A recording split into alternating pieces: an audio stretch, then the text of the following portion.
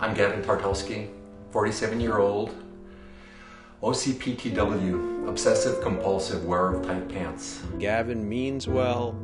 He's maybe a nice guy. He seems nice. But uh, I don't think he has the formal training.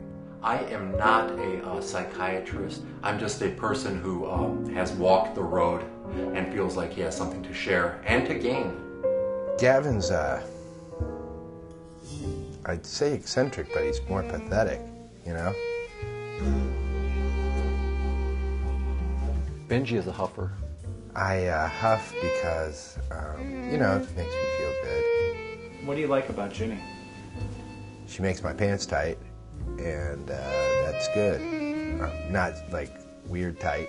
My name's Leroy Bigot, and I uh, been going to A for a few months uh, for my compulsion to run over things, and this is this is my best friend in the world, uh, Jean Paul.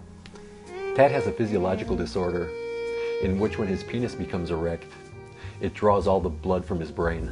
I have a rather large penis, and I'm kind of a small guy, and there's only so much blood, and I, if, if, if I get too excited, um, I pass out.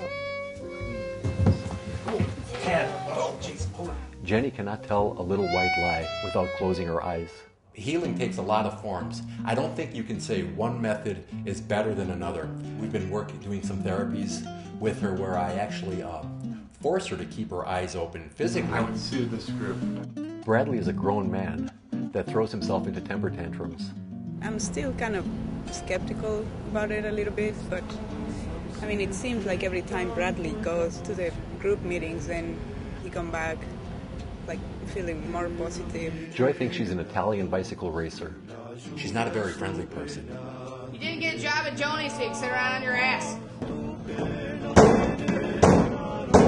She don't need no identity. These people that join these cults need an identity. You